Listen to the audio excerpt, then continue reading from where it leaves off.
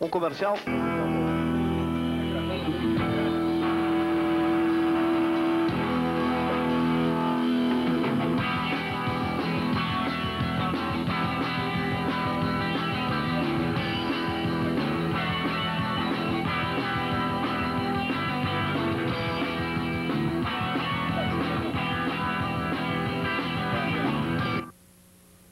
A gente procurou fazer esse disco de uma maneira que possa ser reproduzido ao vivo.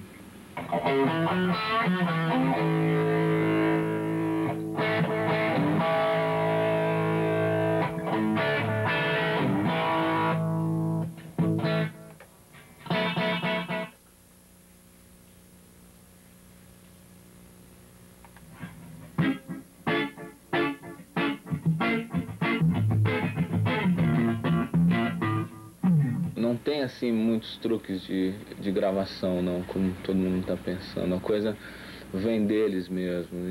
Punhos fechados da vida real Me nega oportunidades, mostra a partitura do mal oh! Chega assim aqui ainda vai ter isso aí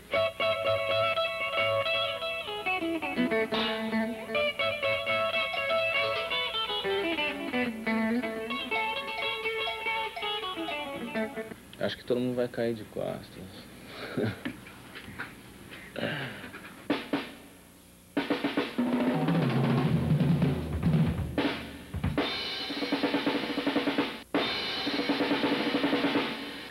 Passa o som, o, o pedal.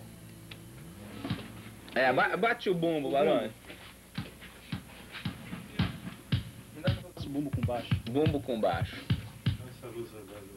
Play the, the bass drum and the fucking...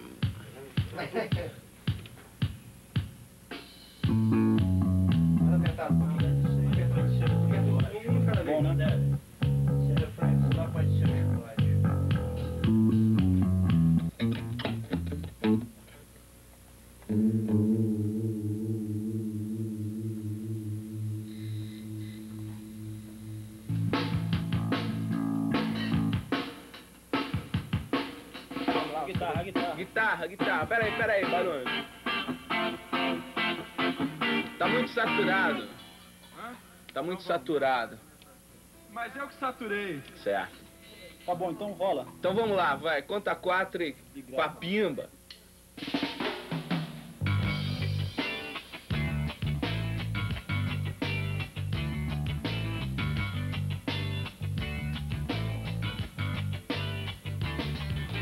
A novidade veio dar a praia Na qualidade rara de sereia.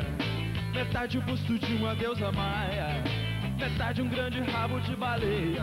A novidade era o máximo Do paradoxo estendido na areia. Alguns a desejam seus beijos de deusa Outros a desejam seu rabo pra ceia.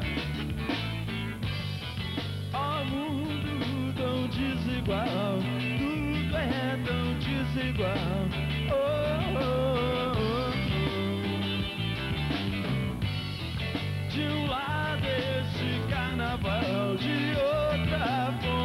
Fome total.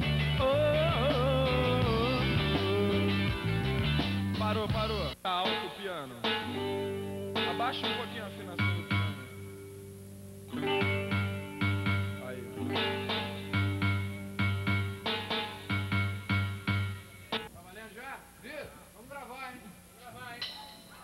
É, a novidade, que a letra do Gil, né? Que essa música a gente. Era a única música que tava, ainda não estava resolvida, não tinha letra, né? E tal, a gente mostrou lá pro Gil e ele fez uma letra que encaixou direitinho, né?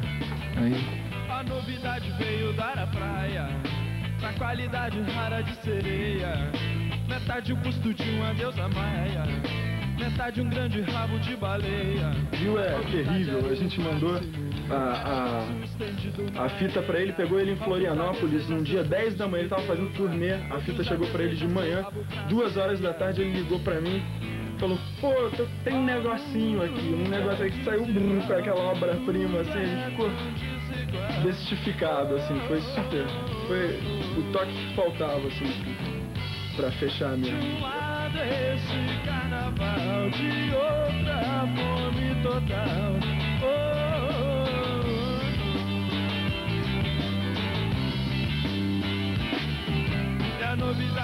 seria um sonho, um milagre risonho da sereia.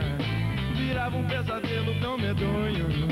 Ali naquela praia, ali na areia, a novidade era a guerra entre o feliz poeta e o esfomeado, estraçalhando uma sereia bonita, despedaçando o sonho pra cada lado.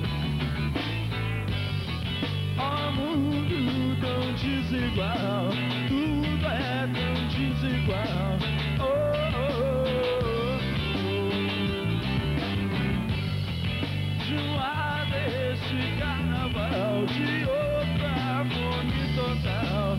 Oh, oh,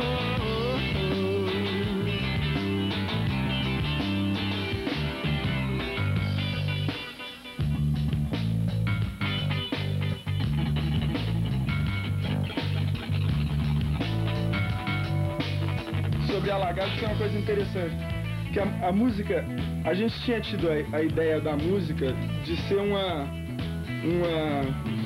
es- essa coisa da guitarra africana, do groove africano assim e tal. E que aí, quando a gente colocou a letra e a melodia, a gente viu que era uma. Era um sambão. Na verdade, a melodia a letra é um sambão, assim. Se você tirar a base massa e colocar. Dá assim, que nem uma luva.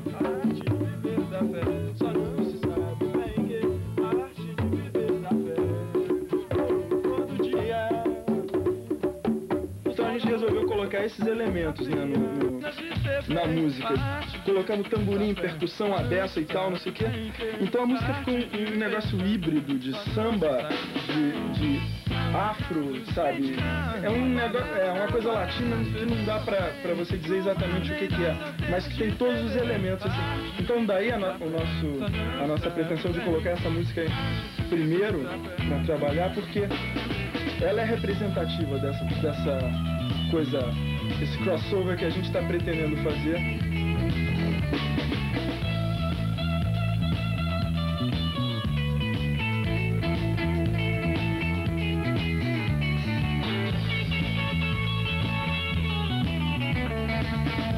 Está na hora do Brasil parar de cultuar é, tudo que se faz na Inglaterra, nos Estados Unidos. Está na hora de olhar para as coisas que tem aqui dentro, são super interessantes e que o mundo esgotado do jeito que está, está procurando isso. Está procurando a África, está procurando a a América Central. Então, aí eu, eu acho que o, o Brasil tem uma contribuição muito grande para dar nesse aspecto.